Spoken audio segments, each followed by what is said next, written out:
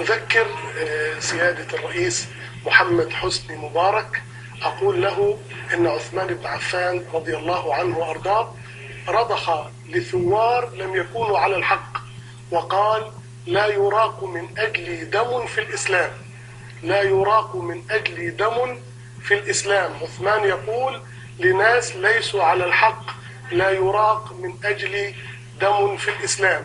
أما الذين خرجوا في محافظات مصر فهم يطالبون بحق مشروع شهد به رئيس الوزراء وشهد به نائب رئيس الجمهورية. فأنا أدعو السيد الرئيس محمد حسني مبارك أن يتوج القرارات التي اتخذها بقرار الرحيل حقنا لدماء المسلمين.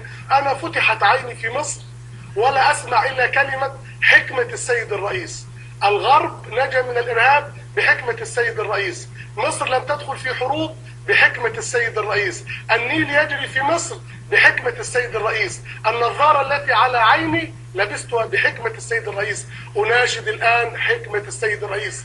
فلتخرج لنا حكمة الرئيس التي تنطن بها على مدار الثلاثين عام الماضية. ثم أوجه لسيادته كلمة. يقول أنا مليت. إذا كنت سيادتك مليت فالشعب أكثر مللا.